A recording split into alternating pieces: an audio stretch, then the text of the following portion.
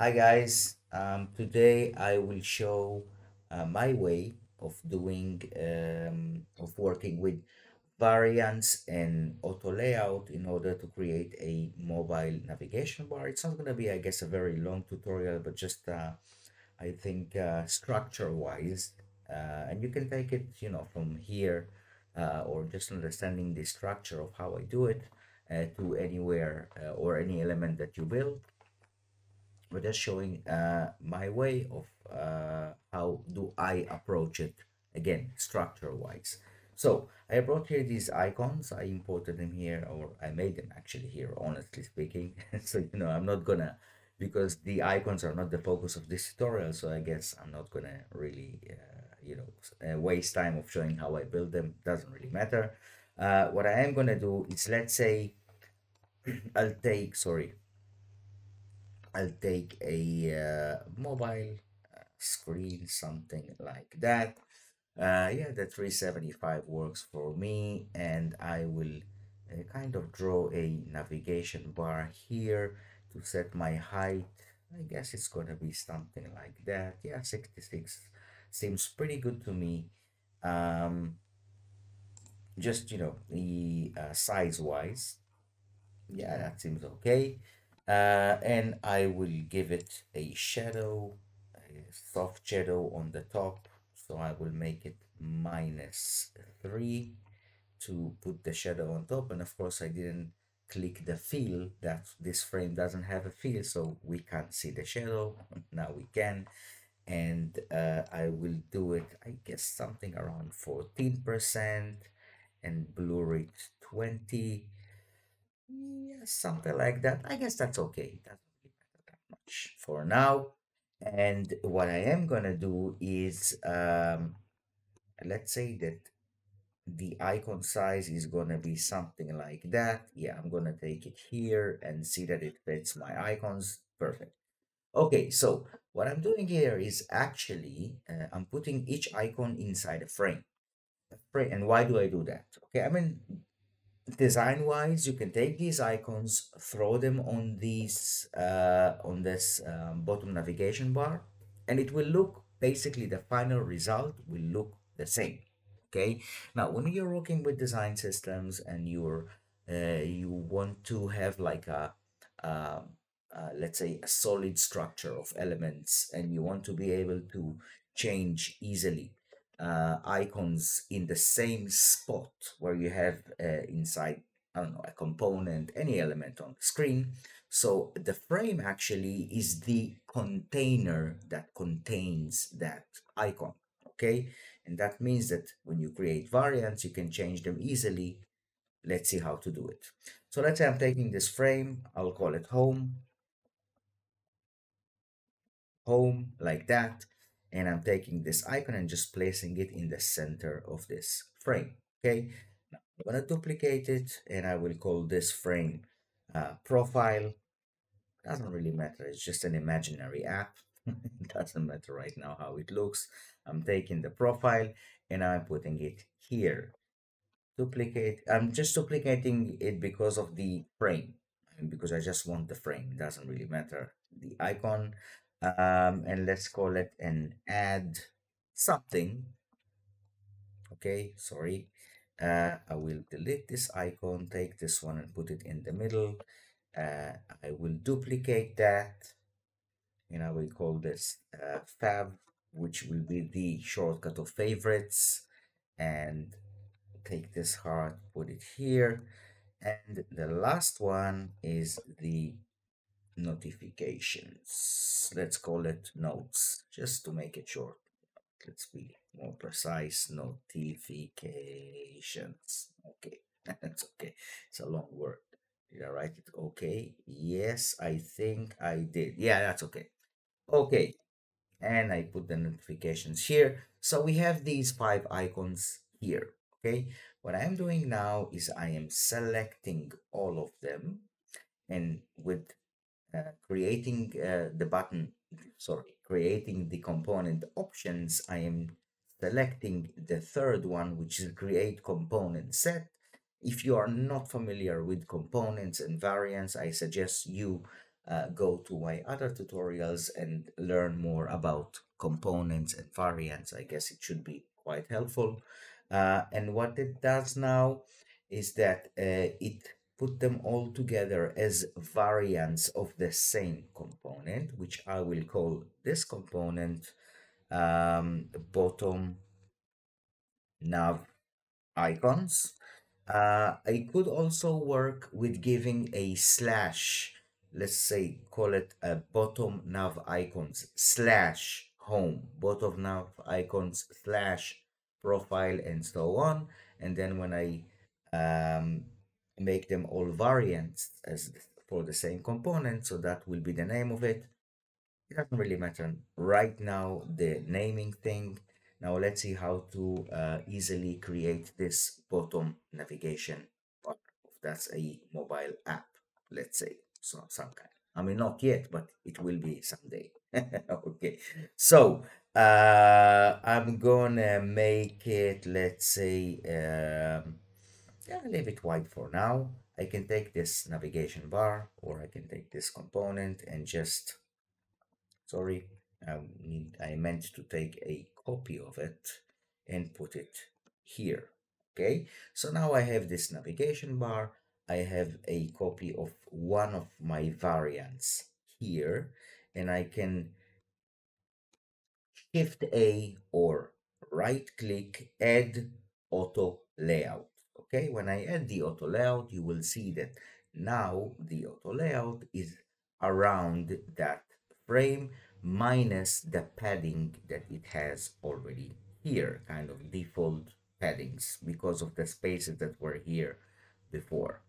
Um, and I mean before up and down and the and it took it took actually just to explain it it took by default the space that we have here and made it also here that's where you see 15 15 11 11 okay now the auto layout, by the way, is in a hug content uh, mode, which is the default, meaning that it's around, it wraps around the content that is inside it.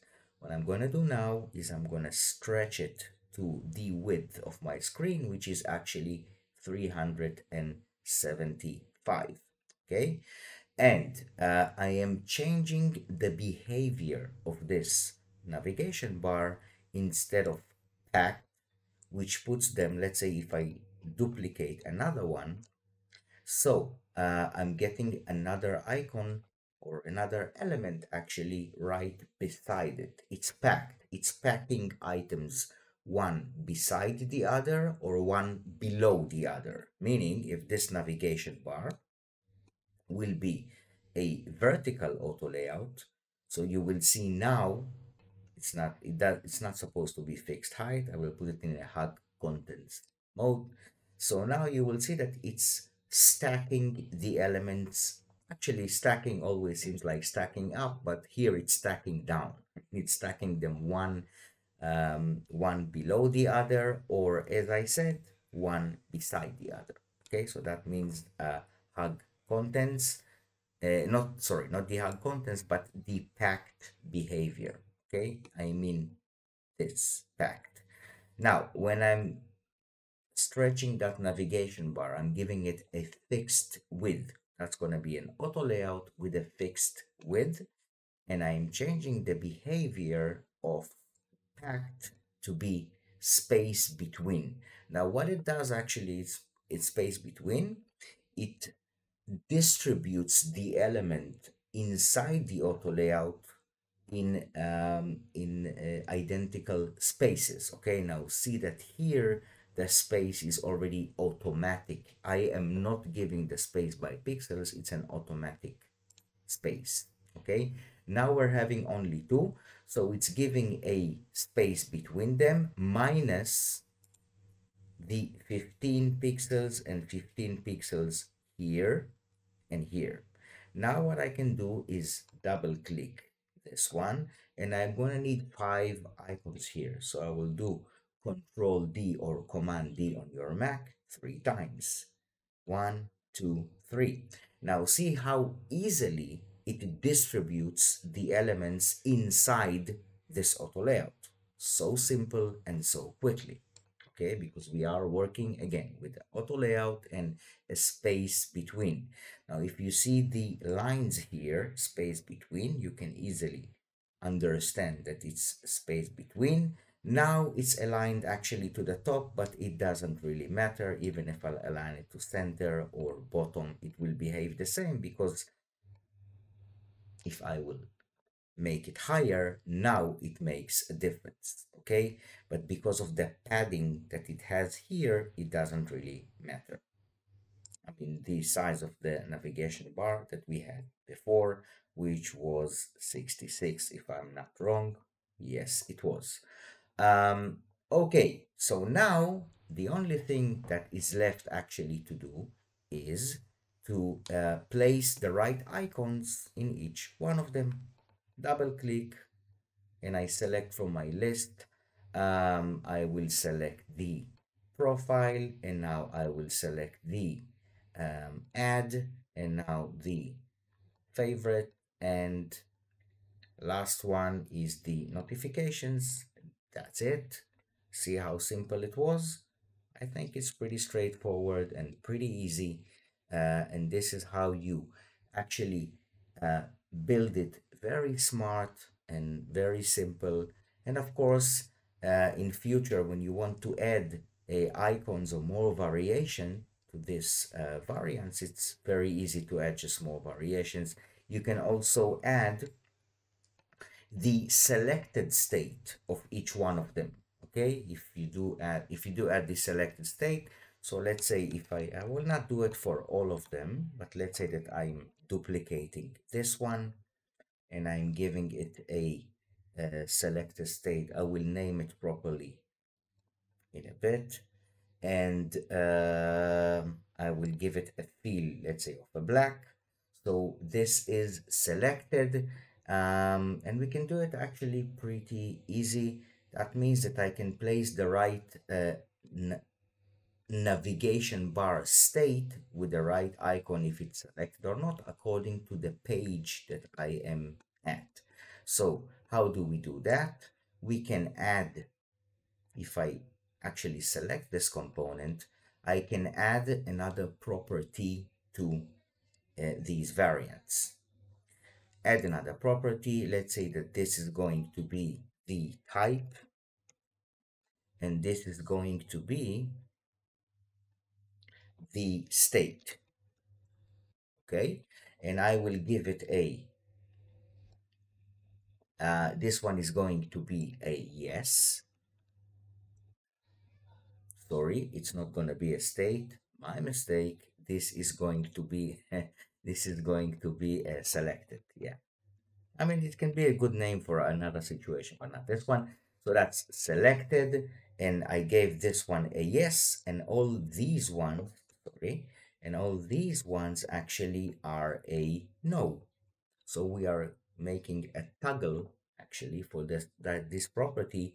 Um, and if you see here that now when I select this one sorry when I select it I have a toggle selected. And when I toggle it on it gives me the selected state of it. And I of course I can make it to each one of them and easily when I have more pages of my mobile app, then I can easily just switch between this one will be not selected and this one will be the selected one when I'm on a different page, let's say on my profile page or my home page. But of course, I need to create this variant here. Okay, I mean, variants are not created automatically. You have to create each state that you want to use as a state. actually okay? So um that's it guys that was kind of like a short tutorial not very flashy with the you know like crazy animations and stuff but really structure wise uh, variants auto layout. I hope it was helpful uh, and if you like this tutorial please give me your like subscribe to my channel if you are not uh, and i will appreciate it a lot. So thanks a lot guys. See you in the next tutorial Bye for now.